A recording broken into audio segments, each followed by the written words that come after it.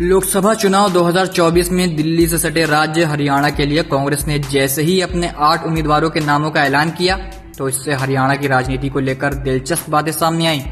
पहली यह कि तैतीस साल बाद यह ऐसा लोकसभा चुनाव होगा जिसमें राज्य के पूर्व मुख्यमंत्री बंसीलाल के परिवार का कोई सदस्य मैदान में नहीं होगा।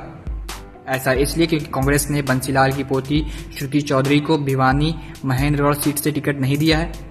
1977 से लेकर 2019 तक सिर्फ़ एक बार साल उन्नीस का लोकसभा चुनाव ऐसा रहा, जब बंसीलाल या उनके परिवार का कोई सदस्य लोकसभा के चुनाव में मैदान में नहीं उतरा। इसी तरह हरियाणा में 26 साल बाद भजनलाल परिवार का भी कोई सदस्य चुनाव मैदान में नहीं उतरेगा। पूर्व मुख्यमंत्री भजनलाल उन्नीस में फरीदाबाद से और उन्नीस सौ अट्ठानबे में करनाल से चुनाव जीतकर लोकसभा पहुँचे थे। उसके बाद उनके परिवार ने 2009 से 2019 तक हिसार सीट से लोकसभा का चुनाव लड़ा। हिसार से बीजेपी ने रंजीत चौटाला को टिकट दिया है, जबकि कांग्रेस ने पूर्व केंद्रीय मंत्री जयप्रकाश जेपी को प्रत्याशी बनाया है।